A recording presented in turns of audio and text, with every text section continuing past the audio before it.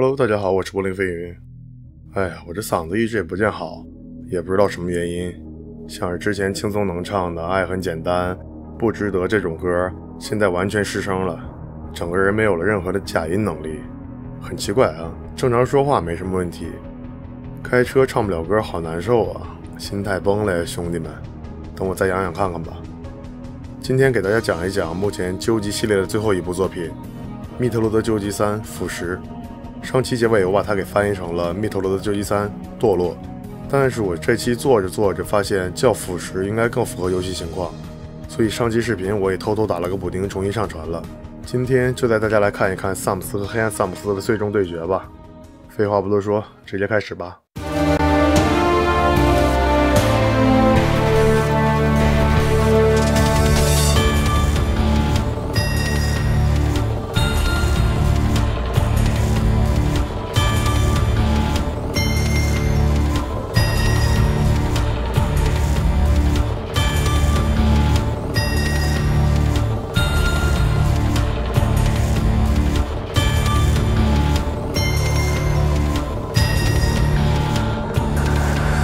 故事剧情紧接《密特罗德救济二：黑暗回声》。在以太行星事件发生了半年以后，萨姆斯·阿兰被召唤上了银河联邦的 GFS 奥林波斯号执行新任务。一起的还有另外三名赏金猎人：古尔、伦达斯和甘德雷达。按照惯例来简单介绍一下他们。古尔，机械化、电子化的赏金猎人，因为参加沃坦七号的解放战争，导致受了重伤，身体只剩下了百分之六，所以被迫变成机器人。不过他的性格仍然被保留，依然富有同情心、怜悯心和幽默感，且温和而聪明。当赏金猎人赚来的赏金都会送给目标的受害者，来帮助弱者。伦达斯来自贝斯三号行星的一颗卫星弗里吉斯，弗里吉斯人可以操纵和生成冰元素。伦达斯是少数使用这种能力来当赏金猎人的人。甘德雷达来历不明，拥有变形的能力，可以变成大多数其他生物。甚至能变成尺寸相差很大的机器，本体的基本形态是人形。他认为萨姆斯·阿兰是自己的主要对手，因为变形这个特殊能力，他经常被派去执行隐蔽和侦察任务。这三名赏金猎人本来是被银河联邦雇来清除银河联邦的超算极光号上面的宇宙海盗病毒，但是宇宙海盗突然发起了突袭，他们三人就被派往了诺瑞恩行星，启动上面的星球防御系统来抵御突袭。萨姆斯也一同前往。在诺瑞恩行星上，萨姆斯遇到了 PED 三角洲小队的成员。该小队隶属于银河联邦海军陆战队。PED 的含义是非宗增强装置。本来这是一个宇宙海盗的技术，被银河联邦所截获。小队成员可以使用非宗增强装置来给自己的装甲充能，以获得临时性的外骨骼和武器。在任务途中，萨姆斯再次遭遇利德雷，两者在战斗以后坠入了一个能量井。随后，萨姆斯被伦达斯救了出来。利德雷坠入了无尽深渊。不久以后，人们看到了一颗非宗陨石，也就是利维坦，正在朝着诺瑞人行星飞去。赏金猎人们恢复了星球防御炮的动力以后，赶往了控制塔。但是在完全启动星球防御系统以前，他们遭到了黑暗萨姆斯的攻击。在其他猎人都昏迷的情况下，受了重伤的萨姆斯仍然坚持激活了防御系统，利用激光及时摧毁了利维坦种子。在昏迷了一个月以后，萨姆斯醒来。一清醒，他就被告知了一个晴天霹雳的消息：他和他的猎人小伙伴们都被黑暗萨姆斯的飞宗腐蚀了。然而，银河联邦的科学家却发现，萨姆斯现在可以从自己的身体里生产飞宗，所以他们在萨姆斯的加强服上添加了 PED 模块，允许萨姆斯控制他体内的飞宗，相当于超个频。不愧是主角啊，都是被腐蚀，主角还能获取新能力。萨姆斯进一步了解到，其他三名猎人早就醒来了。已经在两周前离开，前往了其他三个观察到了利维坦种子的行星执行任务，但是银河联邦在七天以前与他们失去了联系。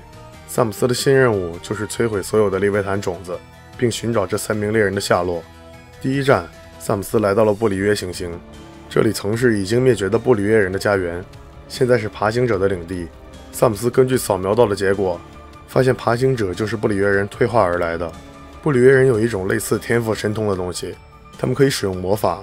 同时，布里约的科技发展速度也非常迅猛，与银河系中的其他文明，比如说鸟人族、卢米诺斯人、伊拉人等等，都进行了积极的接触。鸟人族警告过布里约人，必须要把魔法和科技结合在一起才行。但是布里约人并没有在意。随后，他们内部产生了分裂，出现了科技派的人和魔法派的人。科技派的人斥责魔法派保守、老旧、不思进取，双方的关系变得剑拔弩张。随后，在萨姆斯到达布里约行星的三百年前，爆发了内战，魔法派摧毁了科学派。多年来的战争使得魔法派退化成了野蛮好战的生物，也就是爬行者。在利维坦降临了之后，这种情况更甚。萨姆斯在布里约行星探索的过程中，惊恐地发现，本来以为是良性因素的非宗腐蚀，会导致他的身体被非宗能量过载，最终让自己疯掉。萨姆斯必须及时清除非宗，才能阻止进一步的腐蚀。随后，萨姆斯遇到了伦达斯，伦达斯已经丧失了理智。萨姆斯击败了他，然后眼睁睁地看着伦达斯被自己身上的冰给刺穿。黑暗萨姆斯飞过来并吸收了他。在拿到了伦达斯的遗产冰冻导弹以后。萨姆斯进入了利维坦种子，与被腐蚀的战争巨兽莫根纳战斗。莫根纳是布里约科学派制造出来攻击魔法派的产物。战斗结束以后，莫根纳产生的爆炸使得萨姆斯体内的飞宗过载。萨姆斯顺势而为，将飞宗倾泻出去，毁掉了利维坦核心，根除了布里约行星上的所有飞宗。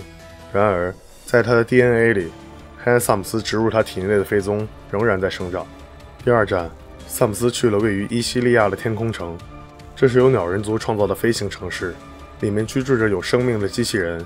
萨姆斯找到了极光号二幺七，成功清除了上面的腐蚀病毒，但是已经被腐蚀的古尔却出现并攻击极光号二幺七。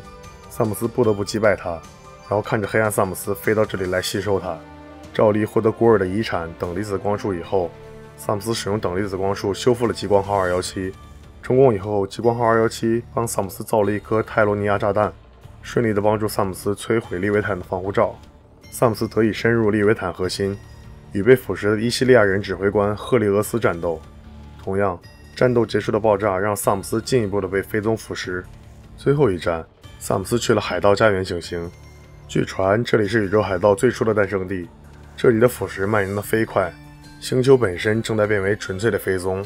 且非常不幸的是，这里的利维坦种子受到了严密的保护。众人只能通过一艘货船到达那里，但是因为行星一直在降落酸雨，所以无法前进。萨姆斯在与一名银河联邦陆战队员短暂的合作以后，获得了加强服的危险盾强化，但是这名士兵却突然反水，想要干掉萨姆斯。失败以后，暴露了自己是甘德雷达。萨姆斯照例击败了他，然后无奈地看着黑暗萨姆斯飞过来吸收了他，捡起了他的遗产以后，银河联邦的司令卡斯特丹恩联系萨姆斯。说银河联邦正在计划进攻海盗家园行星，但是他被巨大的行星防护罩所笼罩，该怎么做你心里应该有数吧？萨姆斯利用刚获得的新星光束解除了行星防护罩，银河联邦开始对宇宙海盗展开全面进攻。萨姆斯亲自带队，率领一队爆破部队摧毁了通往海盗家园利维坦种子的安全门。欧米伽利德雷正在那里等待着。击败利德雷以后，萨姆斯的腐蚀达到了一个临界值，他现在浑身都被飞纵的光芒照耀着。随后，极光号二幺七发现了菲亚泽行星的位置。在之前的视频里解释过，菲亚泽行星是所有飞宗的来源。萨姆斯从宇宙海盗那里偷走了一艘利维坦战舰，和联邦一起动身前往菲亚泽行星。到达了菲亚泽行星以后，萨姆斯的加强服完全不受控制地吸收这里的飞宗能量，几乎让萨姆斯完全被腐蚀。好在萨姆斯通过释放能量，并将自己永久超频，来阻止情况的进一步恶化。进入到菲亚泽行星内部的圣殿以后，萨姆斯碰到了黑暗萨姆斯，后者与被偷走的极光号三幺三融合了，现在他变成了菲亚泽行星的核心，依然是毫无例外。萨姆斯摧毁了被腐蚀的极光号三幺三，干掉了黑暗萨姆斯。黑暗萨姆斯临死之前引爆了自身的飞宗，导致菲亚泽行星开始自毁。银河联邦的舰队全都通过了另一个虫洞逃离，萨姆斯却与舰队失联。好在他的舰艇及时出现，并将萨姆斯带回。完成了任务简报以后，萨姆斯离开了庆祝中的舰队，驾驶舰艇返回了伊利西亚。他陷入了失去恋人同伴的悲痛之中。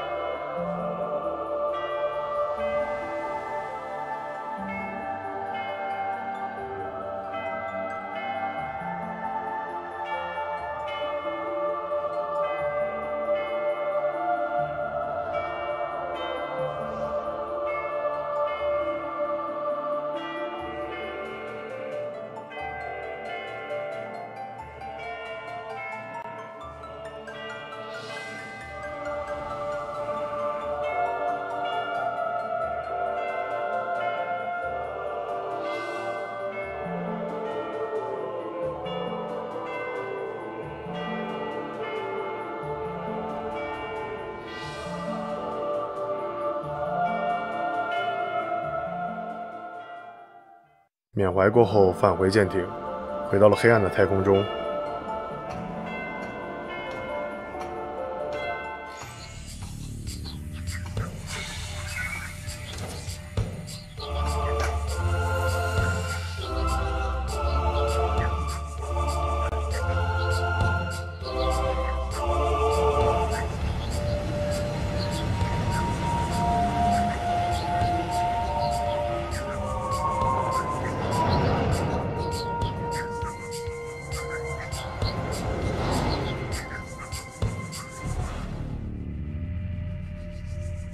画面一转，希莱克斯的飞船紧随其后。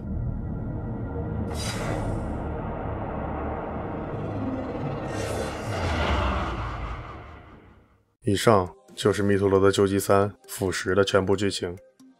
V 不知道大家接触过没？是任天堂在两千零六年十一月十九日发布的第七世代游戏机，与微软的 Xbox 三六零和索尼的 PS 三同台竞争。V 的构想是在两千零一年 GameCube 发布的时候就提出来的。宫本茂在采访中表示，下一代机型不会再走硬件大战模式，而是会优先考虑新的玩家互动形态。山内溥在两千零二年退休以后，岩田聪在五月份继任任天堂总裁。聪哥意识到任天堂没跟上游戏行业发展的趋势，所以 GameCube 才会在主机大战中惨败。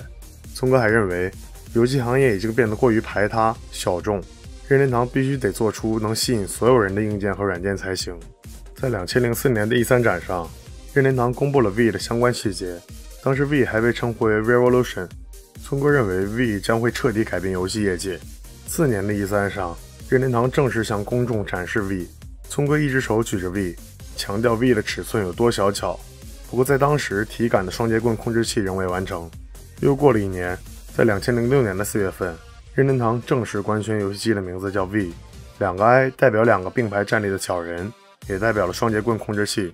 任天堂的报告中表示，V 听起来像 V，很容易被世界各地的人们都记住，不论他们说哪国语言都不会混淆。不过这个名字在当时被不少媒体嘲讽，觉得不如 Revolution。随后，任天堂于两千零六年十一月十九日正式在北美发售 V，结果大家也知道，V 非常火爆，和 NDS 一起。拉了一大批平时不怎么玩游戏的蓝海玩家进入游戏市场，赚得盆满钵满。不过，对于蓝海策略的错误判断，也间接导致了后面 VU 的全面失败，这就是后话了。国行版本的话，任天堂曾经想和神游一起在2008年发布国行 V，但是因为种种原因并未能达成，又给神游插了一刀。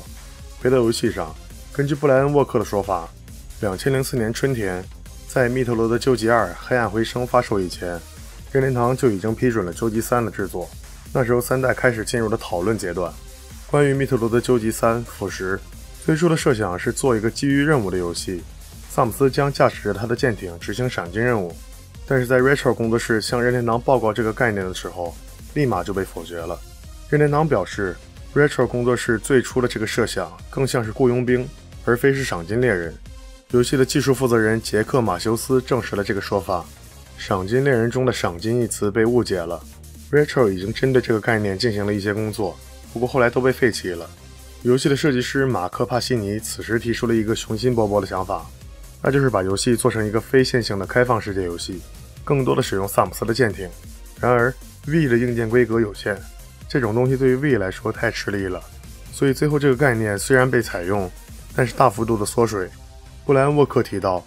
虽说团队成员都对《密特罗德救济三：腐蚀》感到非常自豪且满意，但是他们其实并没有完成自己预想中的目标，即通过这款游戏革新密特罗德系列的公式，像是咱们编年史第一期提到的那些能力限制探索、非线性区域等等，创造出一个全新的密特罗德。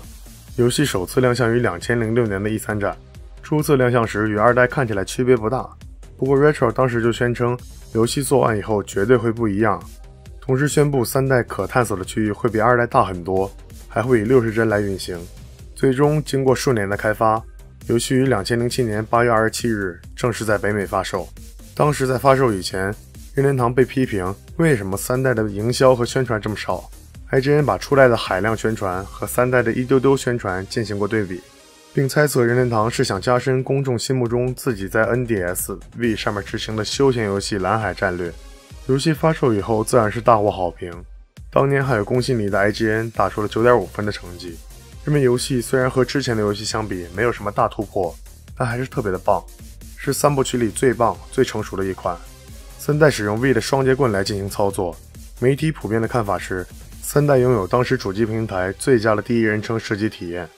上期提到了舰艇功能，在本作当中得了强化。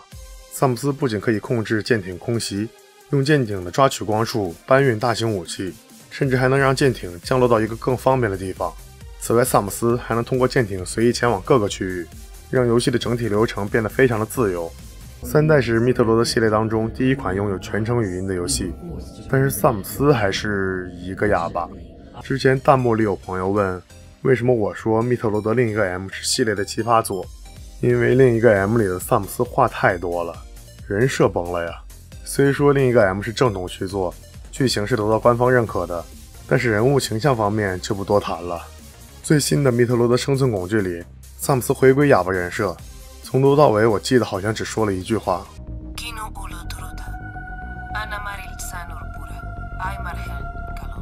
其他方面我实在是没什么好说的了。初代打下的基础太扎实、太优秀了，缝缝补补就三代了，实在是没什么地方可以突破了，所以究极系列才这么被搁置下来。估计是和 N 六四时代一个理由吧。任天堂拿不出什么可以具体执行的方案了，究极系列已经完美了。在二零一七年的 E 三，我在看任天堂直播的时候，刚开始是《异度神剑二》，没什么兴趣，我一向对 RPG 不感冒。后边就是《星之卡比》《宝可梦铁拳 DX》，乏善可陈吧。然后高桥伸也出来串场，下一幕就是一个黑色的宇宙星空背景，然后一个闪电出现。当时我浑身鸡皮疙瘩都起来了，汗毛直立，心想不会吧，真的要来了吗？随后出现一个四，密特罗的救济四正在开发当中。哇，对我来说有这个就够了。任天堂已经赢了。第二天我就在网上下单，然后下班以后骑着摩托车去中关村提了一台 Switch，然后一晃四年多过去了，救济四开发掀桌。Retro 接手再开发，我 Switch 游戏是买了玩了一大堆，究极四到现在还是只有一个 logo，我是真希望明年能看到一点新消息啊！还好今年有正统续作《密特罗德生存恐惧》，如果明年能给一个三部曲一支汉化版，然后四代给点消息，亦或者直接就发售，那我是真感觉我死而无憾了呀！就这样吧，不多说了，嗓子还难受呢。下期给大家讲一讲密特罗德另一个 M。来感受一下忍者组代工的萨姆斯吧。我是柏林飞云，大家下期再见，拜拜。